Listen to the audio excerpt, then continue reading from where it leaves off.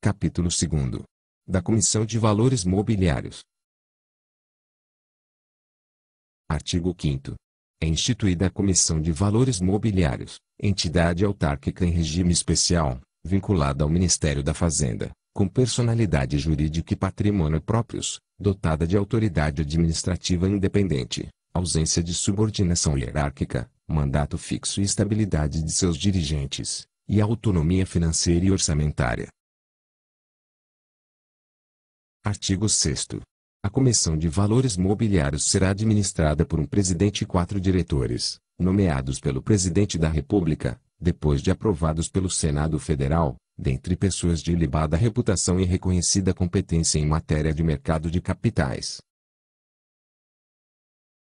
Parágrafo 1 O mandato dos dirigentes da comissão será de cinco anos, vedada a recondução, devendo ser renovado a cada ano um quinto dos membros do colegiado. Parágrafo 2 Os dirigentes da comissão somente perderão mandato em virtude de renúncia, de condenação judicial transitada em julgado ou de processo administrativo disciplinar. Parágrafo 3 Sem prejuízo do que prevêem a lei penal e a lei de improbidade administrativa, será causa da perda do mandato a inobservância, pelo presidente ou diretor, dos deveres e das proibições inerentes ao cargo, Parágrafo 4 Cabe ao Ministro de Estado da Fazenda instaurar o processo administrativo disciplinar, que será conduzido por comissão especial, competindo ao Presidente da República determinar o afastamento preventivo, quando for o caso, e proferir o julgamento. Parágrafo 5 No caso de renúncia, morte ou perda de mandato do Presidente da Comissão de Valores Mobiliários, assumirá o diretor mais antigo ou mais idoso, nessa ordem até nova nomeação, sem prejuízo de suas atribuições. Parágrafo 6 No caso de renúncia, morte ou perda de mandato de diretor, proceder-se-á a nova nomeação pela forma disposta nesta lei, para completar o mandato do substituído. Parágrafo 7 a comissão funcionará como órgão de deliberação colegiada de acordo com o seu regimento interno, e no qual serão fixadas as atribuições do presidente, dos diretores e do colegiado. Artigo 7 A comissão custeará as despesas necessárias ao seu funcionamento com os recursos provenientes de Inciso 1 Dotações das reservas monetárias a que se refere o artigo 12 da Lei nº 5.143, de 20 de outubro de 1966 alterado pelo Decreto-Lei nº 1.342, de 28 de agosto de 1974 que lhe forem atribuídas pelo Conselho Monetário Nacional. Inciso 2 Dotações que lhe forem consignadas no Orçamento Federal. Inciso 3 receitas provenientes da prestação de serviços pela comissão, observada a tabela aprovada pelo Conselho Monetário Nacional. Inciso 4. Renda de bens patrimoniais e receitas eventuais. Inciso 5. Receitas de taxas decorrentes do exercício de seu poder de polícia, nos termos da lei. Artigo 8 compete à Comissão de Valores Mobiliários. Inciso 1. Regulamentar, com observância da política definida pelo Conselho Monetário Nacional, as matérias expressamente previstas nesta lei e na Lei de Sociedades por Ações. Inciso 2. Administrar os registros instituídos por esta lei. Inciso 3 fiscalizar permanentemente as atividades e os serviços do mercado de valores mobiliários, de que trata o artigo 1 bem como a veiculação de informações relativas ao mercado, às pessoas que dele participem, e aos valores nele negociados. Inciso 4. Propor ao Conselho Monetário Nacional a eventual fixação de limites máximos de preço, comissões, emolumentos e quaisquer outras vantagens cobradas pelos intermediários do mercado. Inciso 5 fiscalizar e inspecionar as companhias abertas dada prioridade às que não apresentem lucro em balanço ou às que deixem de pagar o dividendo mínimo obrigatório. Parágrafo 1 o disposto neste artigo não exclui a competência das bolsas de valores, das bolsas de mercadorias e futuros, e das entidades de compensação e liquidação com relação aos seus membros e os valores mobiliários nelas negociados. Parágrafo 2 Serão de acesso público todos os documentos e autos de processos administrativos, ressalvados aqueles cujo sigilo seja imprescindível para a defesa da intimidade ou do interesse social, ou cujo sigilo esteja assegurado por expressa disposição legal. Parágrafo 3 Em conformidade com o que dispuser seu regimento, a Comissão de Valores Mobiliários poderá Inciso 1 Publicar projeto de ato normativo para receber sugestões de interessados. Inciso 2 Convocar, a seu juízo, qualquer pessoa que possa contribuir com informações ou opiniões para o aperfeiçoamento das normas a serem promulgadas. Artigo 9. A Comissão de Valores Mobiliários, observado o disposto no parágrafo 2 do artigo 15, poderá Inciso 1. Examinar e extrair cópias de registros contábeis, livros ou documentos, inclusive programas eletrônicos e arquivos magnéticos, ópticos ou de qualquer outra natureza, bem como papéis de trabalho de auditores independentes, devendo tais documentos ser mantidos em perfeita ordem e estado de conservação pelo prazo mínimo de cinco anos. A linha A. As pessoas naturais e jurídicas que integram o sistema de distribuição de valores mobiliários. Artigo 15. A linha B.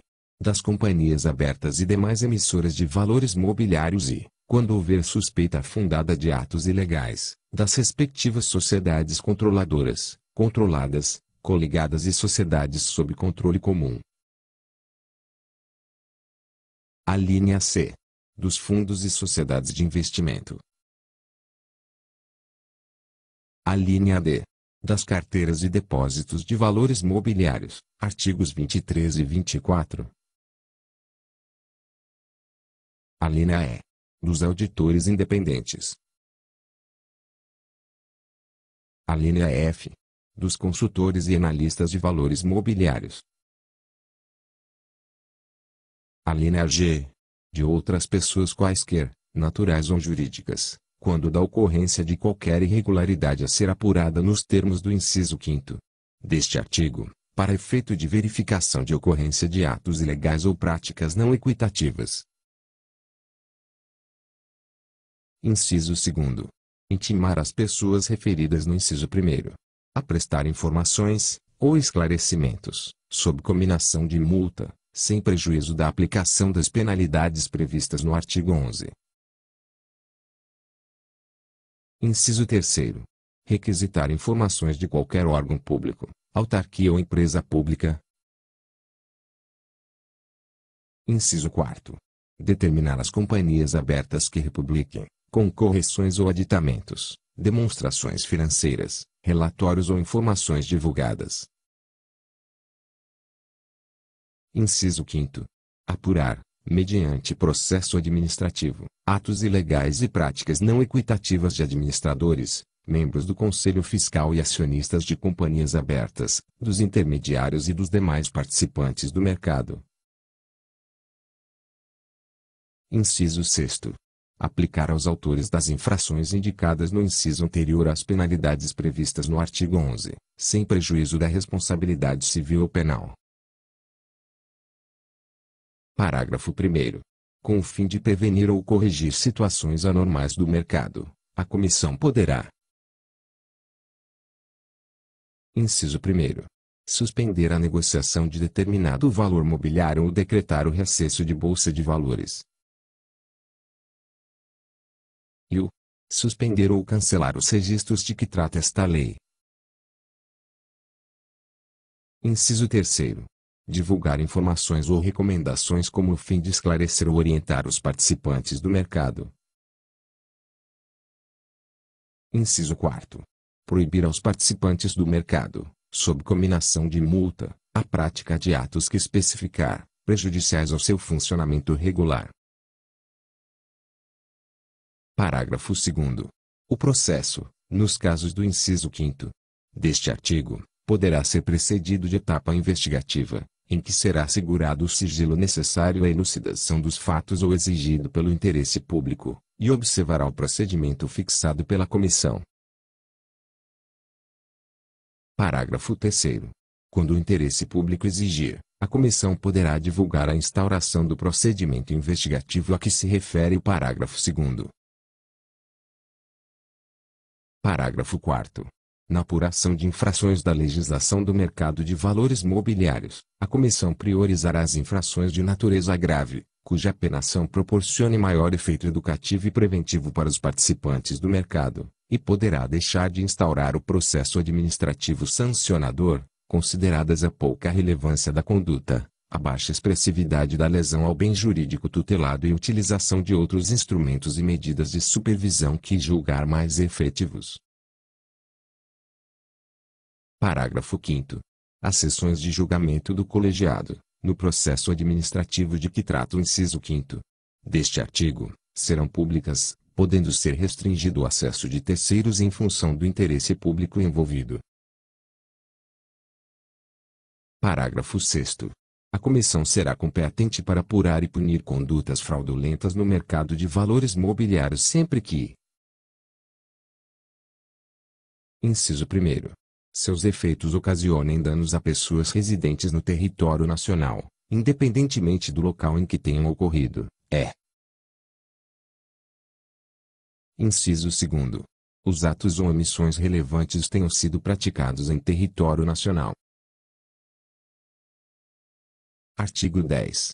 A Comissão de Valores Mobiliários poderá celebrar convênios com órgãos similares de outros países, ou com entidades internacionais, para assistência e cooperação na condução de investigações para apurar transgressões às normas atinentes ao mercado de valores mobiliários ocorridas no país e no exterior. Parágrafo 1. A Comissão de Valores Mobiliários poderá se recusar a prestar assistência referida no caput deste artigo quando houver interesse público a ser resguardado. Parágrafo 2.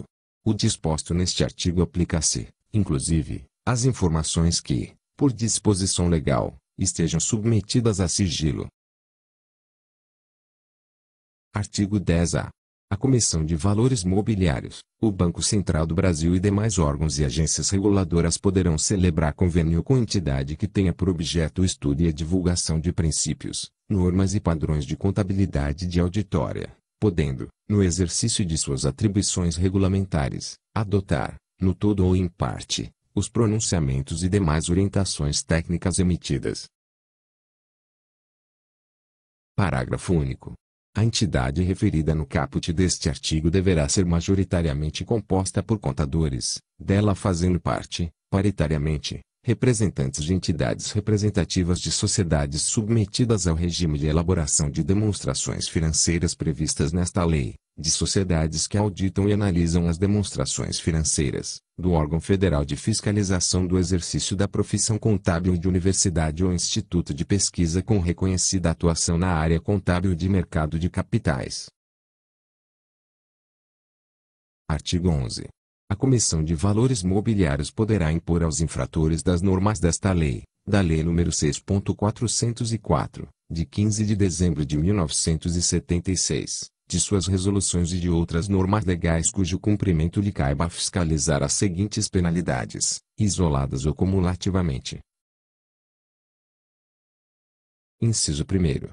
Advertência. Inciso 2. Multa. Inciso 3. Revogado. Inciso 4.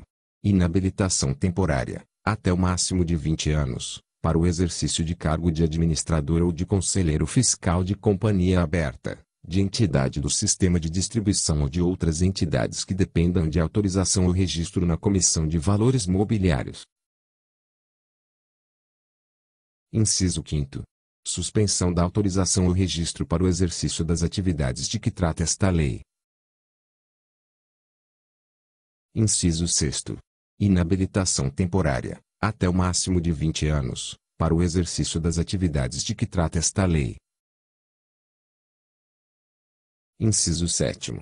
Proibição temporária, até o máximo de 20 anos, de praticar determinadas atividades ou operações, para os integrantes do sistema de distribuição ou de outras entidades que dependam de autorização ou registro na Comissão de Valores Mobiliários.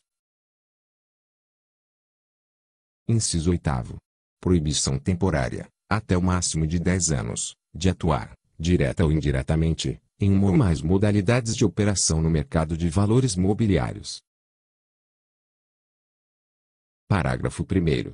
A multa deverá observar, para fins de dosimetria, os princípios da proporcionalidade e da razoabilidade, a capacidade econômica do infrator e os motivos que justifiquem sua imposição, e não deverá exceder o maior destes valores. Inciso 1. 50 milhões reais. Inciso 2. O dobro do valor da emissão ou da operação irregular. Inciso 3. Três vezes o montante da vantagem econômica obtida ou da perda evitada em decorrência do ilícito, ou. Inciso 4. O dobro do prejuízo causado aos investidores em decorrência do ilícito. Parágrafo 2. Nas hipóteses de reincidência, poderá ser aplicada a multa de até o triplo dos valores fixados no parágrafo 1 deste artigo. Parágrafo 3. As penalidades previstas nos inciso 4, inciso 5, inciso 6, 7 e 8 do caput deste artigo somente serão aplicadas nos casos de infração grave, assim definidas em normas da Comissão de Valores Mobiliários, ou nos casos de reincidência. Parágrafo 4 As penalidades somente serão impostas com observância do procedimento previsto no parágrafo 2 do artigo 9 desta lei, cabendo recurso para o Conselho de Recursos do Sistema Financeiro Nacional. Parágrafo 5 A Comissão de Valores Mobiliários, após análise de conveniência e oportunidade, com vistas a atender ao interesse público, poderá deixar de instaurar ou suspender, em qualquer fase que preceda a tomada da decisão de primeira instância, o procedimento administrativo destinado à apuração de infração prevista nas normas legais e regulamentares cujo cumprimento lhe caiba fiscalizar, se o investigado assinar termo de compromisso no qual se obrigue a Inciso 1 cessar a prática de atividades ou atos considerados ilícitos pela Comissão de Valores Mobiliários, é. Inciso 2. Corrigir as irregularidades apontadas, inclusive indenizando os prejuízos. Parágrafo 6. O compromisso a que se refere o parágrafo anterior não importará a confissão quanto à matéria de fato, nem reconhecimento de licitude da conduta analisada. Parágrafo 7. O termo de compromisso deverá ser publicado no sítio eletrônico da Comissão de Valores Mobiliários, com discriminação do prazo para cumprimento das obrigações eventualmente assumidas, e constituirá título executivo extrajudicial. Parágrafo 8. Não cumpridas as obrigações no prazo, a Comissão de Valores Mobiliários dará continuidade ao procedimento administrativo anteriormente suspenso, para aplicação das penalidades cabíveis. Parágrafo 9. Serão considerados, na aplicação de penalidades previstas na lei, o arrependimento eficaz e o arrependimento posterior ou a circunstância de qualquer pessoa, espontaneamente, confessar ilícito ou prestar informações relativas à sua materialidade. Parágrafo 10. A Comissão de Valores Mobiliários regulamentará a aplicação do disposto nos parágrafos 5 a 9 deste artigo aos procedimentos conduzidos pelas bolsas de valores, bolsas de mercadorias e futuros, entidades do mercado de balcão organizado e entidades de compensação e liquidação de operações com valores mobiliários. Parágrafo 11. A multa aplicada pela inexecução de ordem da Comissão de Valores Mobiliários, nos termos do inciso 2 do caput do inciso 4 do parágrafo 1 do artigo 9 desta lei, independentemente do processo administrativo previsto no inciso 5 do caput do artigo 9 desta lei, não excederá, por dia de atraso no seu cumprimento, o maior destes valores. Inciso 1. 1 mil do valor do faturamento total individual ou consolidado do grupo econômico, obtido no exercício anterior à aplicação da multa, ou, Inciso 2. 100 mil reais. Parágrafo 12. Da decisão que aplicar a multa prevista no parágrafo anterior caberá recurso voluntário, no prazo de 10 dias, ao colegiado da Comissão de Valores Mobiliários, sem efeito suspensivo. Parágrafo 13. Adicionalmente às penalidades previstas no caput deste artigo, a Comissão de Valores Mobiliários poderá proibir os acusados de contratar, por até de cinco anos, com instituições financeiras oficiais de, de participar de licitação que tenha por objeto aquisições, alienações, realizações de obras e serviços e concessões de serviços públicos, no âmbito da administração pública federal, estadual, distrital e municipal e das entidades da administração pública indireta. Parágrafo 14. Os créditos oriundos de condenação do apenado ao pagamento de indenização em ação civil pública movida em benefício de investidores e demais credores do apenado e os créditos do Fundo Garantidor de Crédito, FGC, ou de outros mecanismos de ressarcimento aprovados pelo Banco Central do Brasil ou pela Comissão de Valores Mobiliários, se houver, preferirão aos créditos oriundos da aplicação da penalidade de multa.